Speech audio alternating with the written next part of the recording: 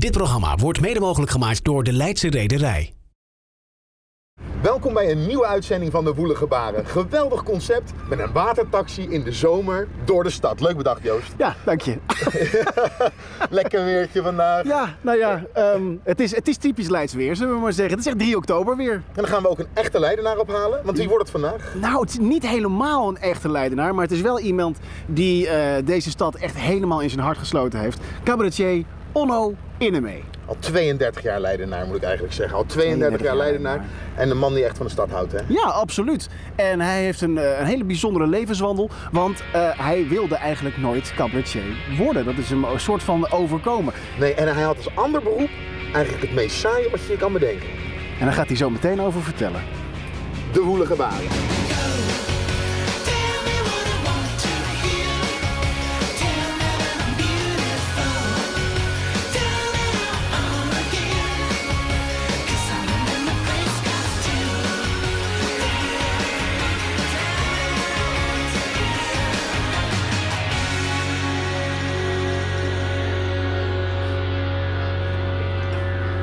Heerlijk, met capuchon op. Kijk dan, helemaal voorbereid.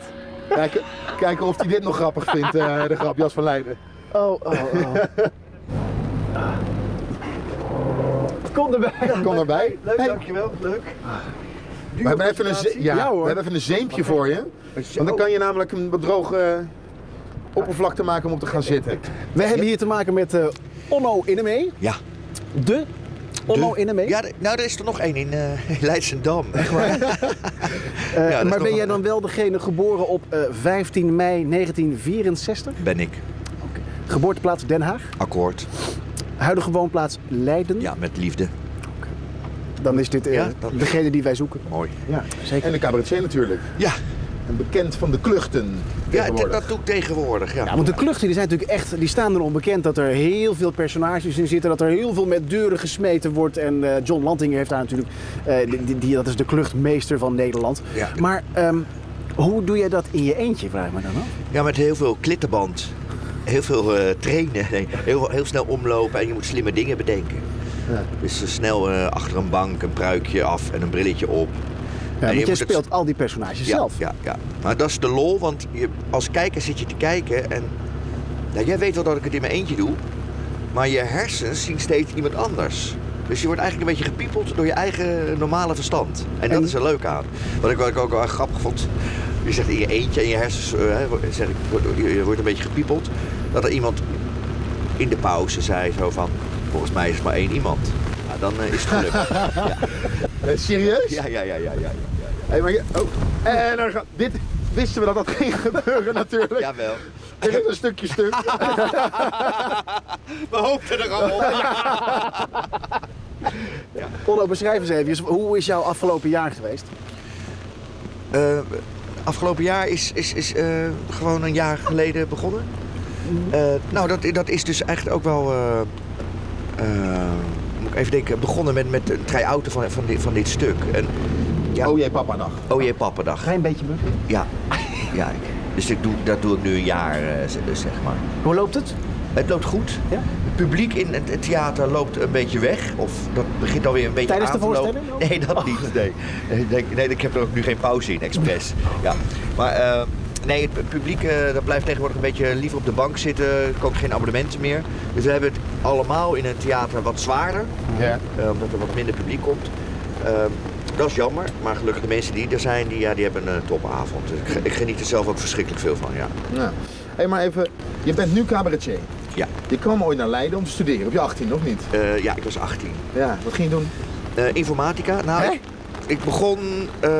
ik ging eigenlijk wiskunde of scheikunde in Delft doen. En eh, toen eh, zei iemand, ja, je kan ook in Leiden. Leiden, oh ja, dat is eh, aan de andere kant van Den Haag. En toen kwam ik hier bij wiskunde en er waren alleen vrouwen. En, ja, ik, was, ik was 18, dus ik wist eigenlijk nog niet heel veel van vrouwen. Ik, maar dat, oh, dat is wel leuk. En dan ja, ben ik informatica gaan studeren. En dat, bleek, ja, dat was al heel lang een hobby. Ik programmeerde al vanaf 12. Als een, dus ik ben altijd een nerd geweest. En toen kon ik dat hier gaan doen. Nou, ik was eigenlijk gelijk verliefd ook. Niet alleen op die eh, medestudenten, maar ook eh, op, op Leiden. En ook op het vak. Ja, dat heb ik altijd al leuk gevonden. Ik zat vroeger in het onderwijsmuseum in de Heemsterhuisstraat in Den Haag. ja, zat ik met zo'n cassettebandje zat ik, eh, te programmeren. Maakte ik zelf eh, Space Invaders en, eh en Breakout, dat soort dingen. En dan Je ben moet je... even bukken. Je moet even bukken. Anders- Ja, Onno, ga je een stukje mee varen.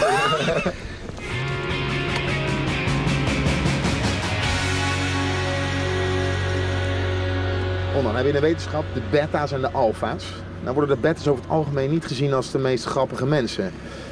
Was dat Ja, voor jou een beetje een mooie, goede vrucht, ja, niet vruchtbare bodem om te beginnen ik met moet je, ik moet je tegenspreken. Ja? Want heel veel cabaretiers komen, hebben bijvoorbeeld ook eh, informatica gedaan of zo. Dat zijn echt eh, veel meer... eh, Nou, jouw vriendjes die jij hier ontmoet hebt, Quintus, Thomas van Luin en Mike Baudet, Dat zijn... eh, dat waren Japan hebben ze gestudeerd, toch? Chinees, Chinees. ja. Ja, Chinees. Ja, dat is toch echt wel een alfa. Ja, eh, dat klopt, dat klopt. Ehm, maar ik, denk dat beta voor, voor humor eh, eh, wel eh, werkt.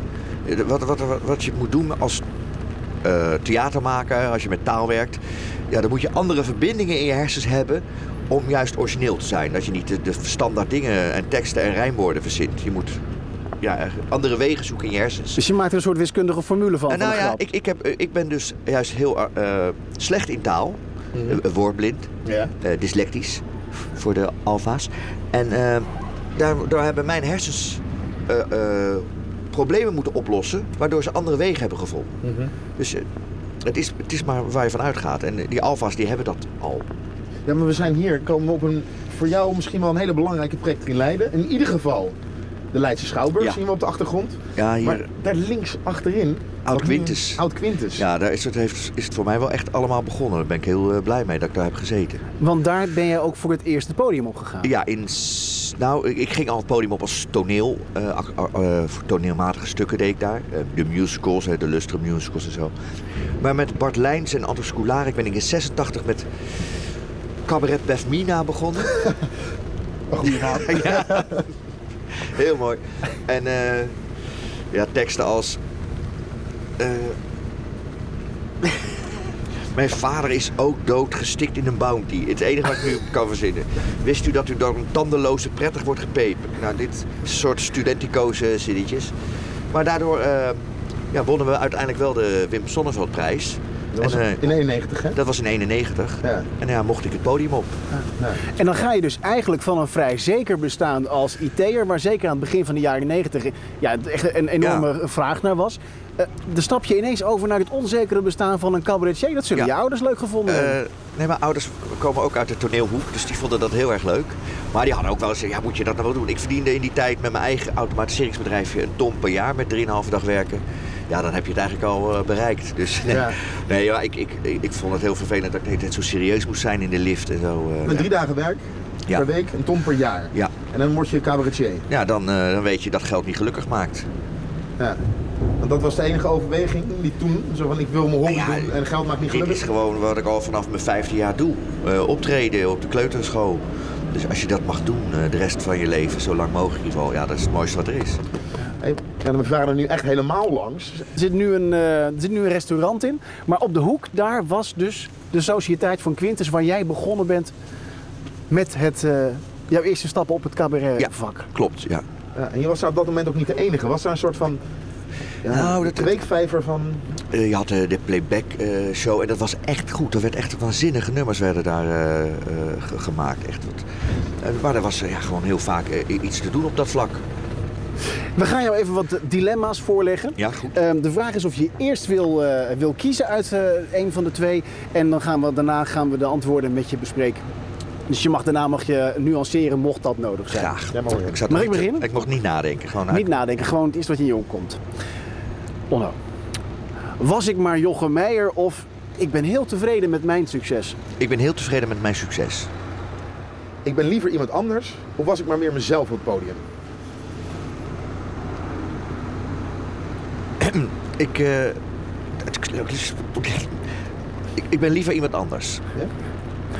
Ik moet echt hard werken. Of ik heb de lach aan mijn kont hangen. Ik heb de lach aan mijn kont houden. Eenmansklucht of stand-up comedy? Evans Klucht. Nou eentje. Blaadje zit aan elkaar. Zal ik hem doen? Ja, doe jij. Elke avond op de, in de kroeg of elke avond op de planken? Op de plank. Jij zei ook ehm, op de vraag, eh, was ik maar Jochem Meijer of ik ben heel tevreden met mijn eigen succes, koos je voor, eh, ik ben heel tevreden met mijn eigen succes. Ehm, betekent dat dan ook Nou, dat ik- jij ik ben- niet ben- liever in Carré zou willen staan? Ik ben heus een heel klein beetje eh, jaloers op Jochem. Eh, bij mij moet er soms geld bij in een seizoen, dure productie. En ja, Jochem heeft zalen vol. En ik, ik zou best een heel klein beetje van zijn publiek willen hebben. Eh, op de, ik denk dat er wel meer zijn die dat eh, zouden willen. Dus daar ben ik heel klein beetje jaloers op. Eh, maar aan de andere kant, eh, ik stond pas met Jochem Meijer op Leiden Culinair. Nou, die jongen heeft geen hap kunnen nemen, hij heeft geen slokje kunnen nemen. Want echt iedereen die wilde met hem praten, ja, dan, dan kan je dus nooit jezelf zijn. En dat is best wel pittig, denk ik. Heel pittig. Dus juist dat, ik noem het maar even het gebrek aan roem, dat is wat jij prettig vindt. Jij kunt gewoon over straat lopen en niemand valt je lastig. Maar als iemand zegt, hé hey, Ondo, leuk, ik heb je wel eens gezien, is dat natuurlijk fantastisch leuk. Daar, daar doe je het toch ook voor. Maar ja, eh, ik kan ook gewoon normaal lopen. Maar ik hoor vaak ook, ik heb nog nooit van ondernemer mee gehoord. Dan, eh, ah, leuk. Want je bent wel een beetje de grote, bekende, onbekende cabaretier van Nederland. Nou, ik denk dat dat wel meevalt als we nu een wedstrijdje cabaret gaan doen. Dan kunnen we eh, twaalf noemen die iedereen kent. Eh, maar daar, daaronder zitten nog 150 cabaretiers waar nog nooit iemand van gehoord heeft. Ja. Alleen, ik, ik doe al zo lang mee. We gaan gewoon met de brug door.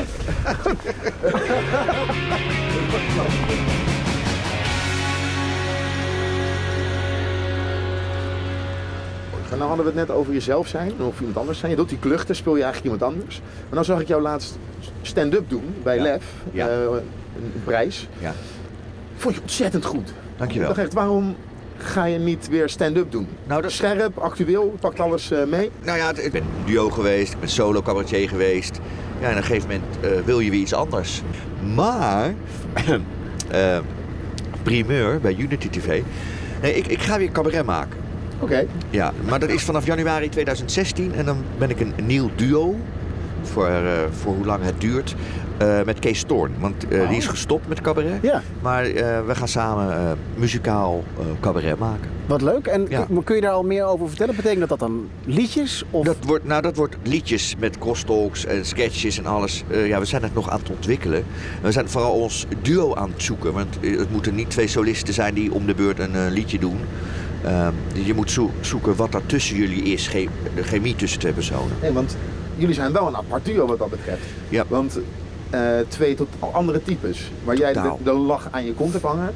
Maar hij op een bepaalde manier ook. maar niet op de vrolijke manier die jij Nee, hebt. nee, nee, nee, nee, nee. We, zijn- we, zijn, we zijn verschrikkelijk verschillend. Maar we kennen elkaar al eh, meer dan 20 jaar en eh, we zijn al 20 jaar bevriend. Ik, heb zijn, ik ben 20 jaar al zijn regisseur. Ik heb al zijn eh, programma's geregisseerd. Oké. Dus we, we kennen elkaar heel erg goed. En eh, ik verwacht dat die chemie er ook wel is. We zijn ook naar elkaar toegegroeid in de jaren. Sommige dingen stonden we vroeger heel erg ver uit elkaar. Eh, maar nu zijn we dichter bij elkaar gekomen. Alleen, eh, dat is eigenlijk wel jammer voor een duo, want we moeten juist die verschillen zoeken. Maar jij werkt sowieso veel met, eh, met andere cabaretiers. Nou, wat ik het zei, je moet niet de hele tijd hetzelfde doen. Ik vind het heel leuk, leerzaam om met anderen te werken. Daar, leer ik van, daar leren anderen van. Ja. En dat houdt het ook gewoon steeds leuk. Want andere cabaretiers werken ook mee, bijvoorbeeld aan het schrijven van, van jouw stuk. Maar jij eh, schrijft ook weer mee aan Ja, eh, ik, ik, ik help ook anderen, vaak ook beginners met, met eh, tekstschrijven en eh, ja, hoe ze op het toneel staan. Ik vind dat leuk dat je elkaar een beetje ook, eh, anders sta je alleen maar, eh, je reist veel in, eh, door het land en af en toe is het leuk om met een, met een ander op pad te zijn. Met- voor wie doe je dat, onder andere? Eh, Tekst andere-? Meehelpen met tekst schrijven? Nou, eh, echt jongens, die eh, jongetje dus nu, nu met het Leids waarschijnlijk mee gaat doen. Die kwam ik eh, met de tweede kerstdag op de wc bij Studio de Veste tegen. En we stonden zo naast elkaar te zeiken. Hij keek zo een beetje naar mij zo en dan zei... ik wil ook cabaretier. Hij, hij zag me lul en zei, ik wil ook cabaretier worden. Hij dacht, hij dacht dat het daar iets mee te maken had. Toen zei ik, nee, eh, nou, ga maar teksten schrijven. Dan, eh, nou, dan, we hebben nu eh, vier keer, hij heet Bojan, eh, vier keer teksten eh, bekeken. En eh, twee weken geleden heeft hij eh, 25 minuten opstand treden in een theatertje in, eh, in Voorburg. Was hij goed? Hij was hartstikke goed, ja. Heel knap. Zo uit het niets, boem. Ben je dan trots? Ben ik heel trots, maar op hem hoor, niet op mij. Ja, nee, maar dat bedoel ik ook. Dat, Ja, ja. dat je dan Nee, toch ook ik wel heel succes hebt bijgedaan. Ja, ja. En nu weer het volgende stapje. En, eh, Is dat ook iets voor jou nog later? Wij gaan het straks nog uitgebreid over je toekomst hebben. Maar zie je daar voor jezelf Nou, ik, nog wel ik een soort ben al mijn hele leven ook al wel een beetje regisseur. Ook toneelregisseur. Ik vind dat ook altijd heel erg leuk om te doen. Ja. Ja. Zullen wij, Met Leiden? Ja, we gaan met de, de volgende lijst eh, dilemma's aan de slag. Dilemma's over de stad waarin je woont. Eh Leen, Leiden, echt een cultuurstad? Of Leiden doet alsof? Echte cultuurstad. Ja? Maar ja, ik, de- ik denk ook, mag ik zeggen, Leiden, stad van mijn hart. Of Almere is ook heel mooi. oh, eh, stad van mijn hart. Onder moet de politiek in? Of ik maak me nergens druk over? Onder moet de politiek in. Mooi. Als ik vrij ben, blijf ik thuis. Of als het even kan, dan vlucht ik. Als het even kan, dan vlucht ik. In mijn tijd was Leiden mooier of het is nog steeds een mooie studentenstad? Het wordt steeds beter. Ja? Wordt steeds beter zo, oké. Eh, een echte cultuurstad, waaraan merk je dat? Nou, aan, aan de activiteiten die hier plaatsvinden, Leiden Lichtstad of hoe, het ook heet. eh, er wordt zo, museumnacht, er wordt zoveel georganiseerd op, op dat vlak. Eh, eh, ik woon tegenover de Volkenkunde, Museum Volkenkunde. En er gebeurt daar zoveel. Het is echt een, niet een gesloten museum waar je een kaartje koopt, maar het is zo open en transparant. Nee, ik vind dat echt eh, wel heel erg goed eh, van Leiden. En Boerhaven, er gebeurt zoveel. Echt, er gebeurt echt op dat vlak heel veel. En dan hoor jij dus dat cultuurstad Leiden eh, wil beknibbelen op, op de culturele sector. En dan zeg jij in de een van de dilemma's, ik moet de politiek in. Jij wil er wat aan gaan doen? Nou, ik wil niet in principe daar wat aan gaan doen, maar ik ben wel. mijn, mijn geschiedenis. eh, lerares zei al dat ik de politiek. Ik kan wel lullen. En ik kan ook heel goed naar argumenten luisteren en weten of iemand eh poep lult, eh, zou ik maar zeggen. Want sommige mensen denken dat ze iets zeggen, maar ze zeggen gewoon helemaal niks. En daar, daar kan me wel eh eens tegenstaan. Eh, op zich staat de politiek me ook tegen, omdat het zo ongelooflijk. eh, ja, er zitten van die mannetjes tussen en vrouwtjes en zoveel gepraat voordat er uiteindelijk iets gedaan wordt. Eh, dat is wel heel erg jammer. Maar jij bent eigenlijk best wel een serieuze jongen, maar je hebt de lach aan je kont hangen. Maar je wordt net niet serieus genoeg genomen om serieuze cabaret te maken. Dat dat- een en je zou nog wel de politiek in Ja, winnen. nou, je, kan het ook eh, omdraaien, want ik kan heel vaak de waarheid zeggen. Een hele harde waarheid, omdat men toch denkt, hij maakt een grapje. Maar dan heb je het wel gezegd. Hè, of er wat mee gedaan wordt, is, is een tweede. Maar ik, ik kan wel heel vaak zeggen waar, eh, wat er niet klopt. Want dat, ze vinden me niet meteen een lul. En hebben er wel eens last van dat mensen op het moment dat je een argument aandraagt, dat Ah, toch is Hè? Ja. Nee, maar echt ook mensen die ik lang ken. En dat je iets zegt en dat ze denken...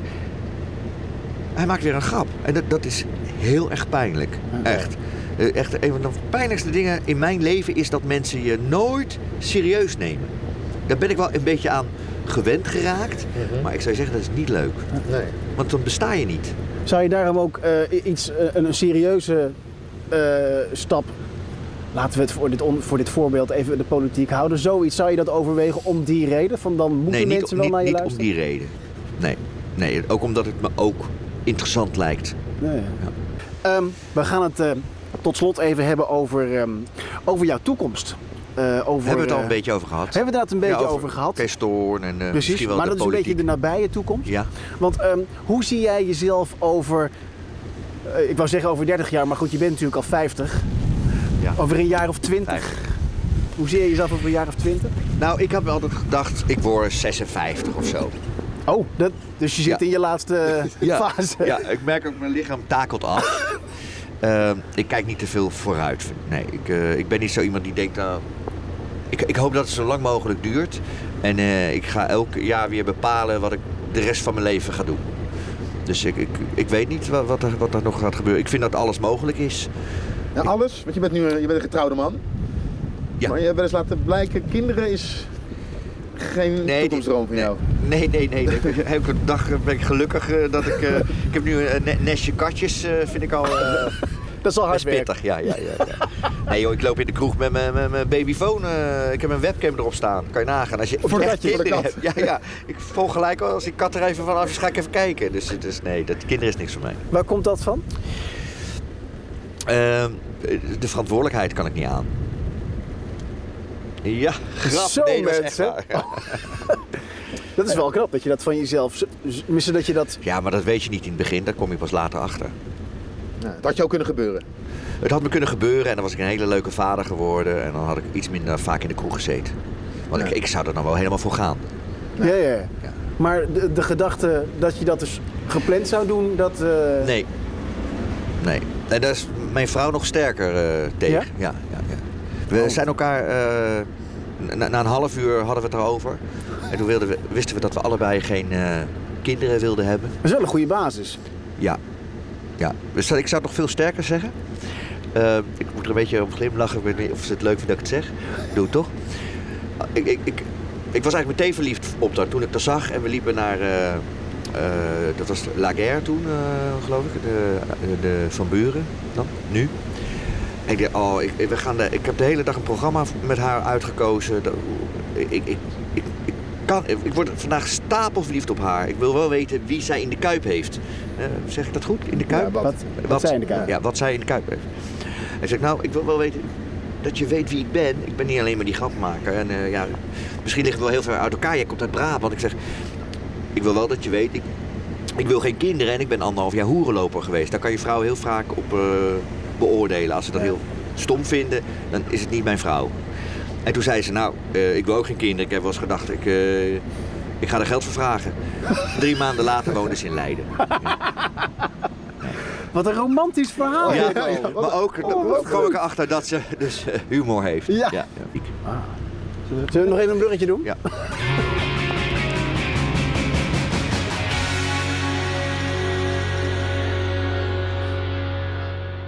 En je bent nu 50. Ja. In mei geworden. Was het een moeilijk moment? nog een keer even. Ja, we leggen het nog een keer. 50 is Onno in de Nee, want ik geworden. heel vaak 48 geschat. Dus het, eh, Nee, maar was dat moeilijk voor je? ja, ik, ik vond dat wel... eh, nou, ik, ik vond 40 moeilijk en ik vond 35 ook moeilijk. Ja, daar zit ik ook heel erg tegenaan. dat ook... eh, Maar het valt echt reuze mee. Ja. Dat zeggen ze ook allemaal. nee, maar waarom? Nou ja, omdat ik zo ongelooflijk van het leven geniet. En ik, ik, ik hoop dat het nog... Nou, deze is in ieder geval... Deze is vergaan. Ik, ik geniet. eh, Ik, eh, het was een serieus moment, jongens. En jullie maken het Oh, helemaal sorry. kapot. Ja, Nee. nee, sorry. Nee, ik, ik geniet zo verschrikkelijk van het leven. Dus ik, ik, ik zou het heel erg jammer vinden als, als het stopt. En hoe ouder je wordt, ja, hoe, hoe korter het gaat duren. Maar pas je daar dan ook je toekomstplannen op aan? Dat je denkt van nou, Nee. ik kan nu wel dit gaan doen, maar de kans dat het een succes wordt Nee, is... ik, ik, al mijn hele leven doe ik vandaag eh, wat ik morgen ook had kunnen doen. Ja, klopt die zin? Ja, ja. Dat is een mooie zin. Dat is wel een hele mooie zin. Ja, ja. Laatste. Oh. Je, je moet er alles uithalen wat, wat erin zit. Daarom heb ik ook geen zin om eh, luiers eh, te verschonen, daar mijn tijd aan te voldoen en eh, het, het, het dochtertje naar hockey te brengen. Ja, het, het, het leven is maar kort en daar geniet ik van, dus daar wil ik gewoon eh, alles zelf mee doen eh, wat mogelijk is. Ben jij rijk? Kun jij stoppen?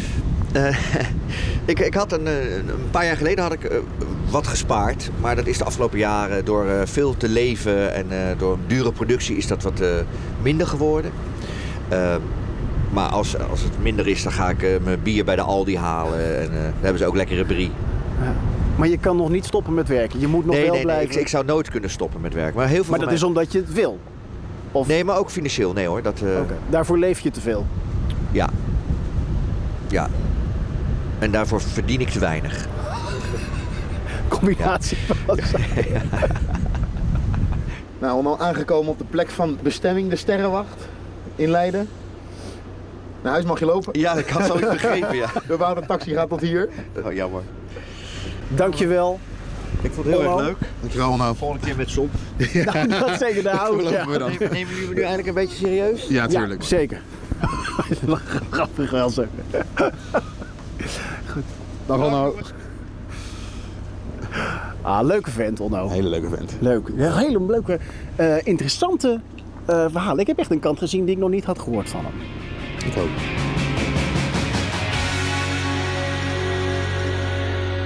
Kijk deze en vorige uitzendingen terug op onze Facebookpagina.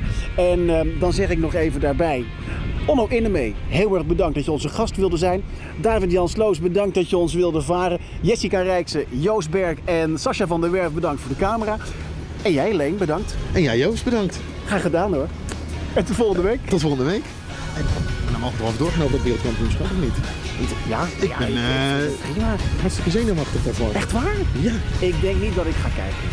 Gaat ik niet denk, kijken. Nee, dat denk ik echt niet. Nee, maar ik, Jij gaat natuurlijk weer op bed liggen. ja, dat denk ik wel. Ik denk dat ik met Onno in de kroeg ga zitten. Echt waar?